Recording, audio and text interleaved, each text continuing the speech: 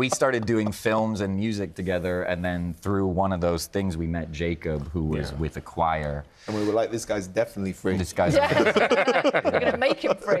And then and we It was went to his church, and um, you know, we set up a recording studio and At the church. at the church. wow. Yeah, oh, they were. I was just like, who are these white men and what do they want? but um, we we I think became. everybody in the church was like literally. literally. Don't trust them. Yeah, it was, and, no, they were like, and they were like, going all on?" right, so we're gonna have. And I was like, well, I'll just do it myself. And we. Yeah. You just moved really quickly, and that became this language that to this day we still follow when we record, kind of thing. yeah. And I'm getting a sense of it here, but what is the dynamic between the three of you working together? Who's in charge? Oh, and It depends which department. Okay.